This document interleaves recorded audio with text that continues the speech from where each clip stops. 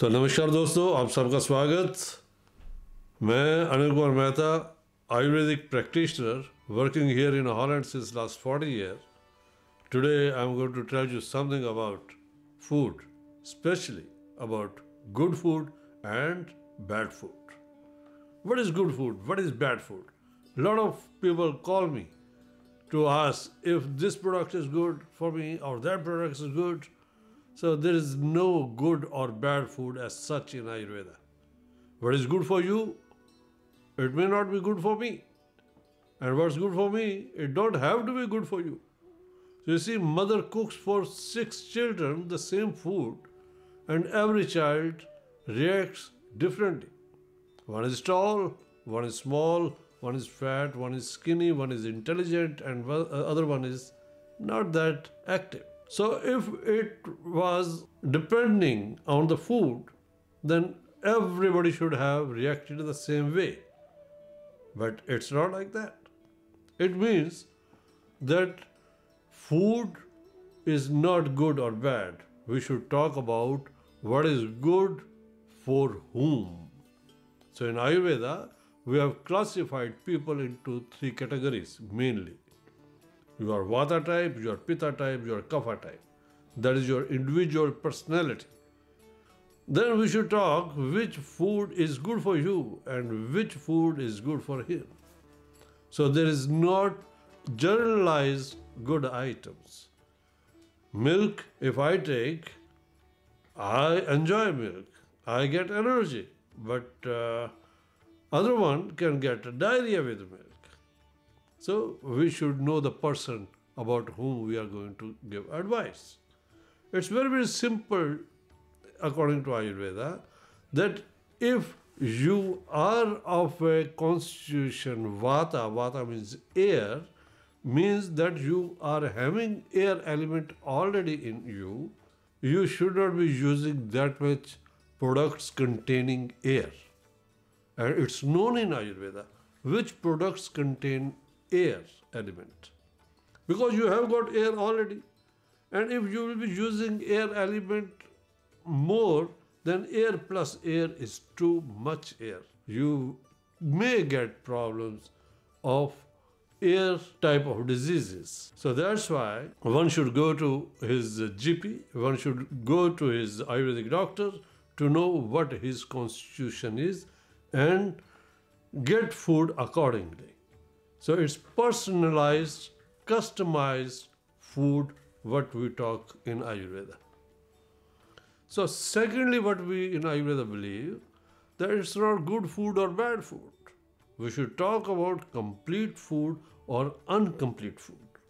Complete food that food should contain carbohydrates, proteins, fat, vitamins, mineral, water, and not to forget fibers. Fibers, this we need. Carbohydrates we need for energy. Fat we need for energy. Protein for wear and tear. Water has got important role to play.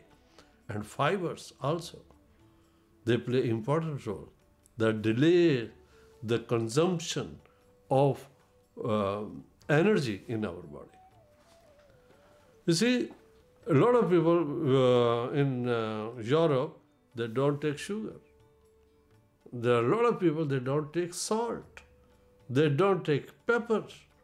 So everything in Ayurveda, what we advise, they play an important role in our body. We don't take sugar just for the taste. It has got a role to play. We don't take salt for the taste. It has got role to play. So that's why Ayurveda say your food should contain every taste. We have got six tastes sweet, sour, saltish, pungent, uh, vrang, bitter. Uh, so this six taste has to be in your food. So you should plan your food such a way that seven items carbohydrate, protein, fats, vitamins, mineral, water, fibers should be in your food at the same time six tastes. What I just told you.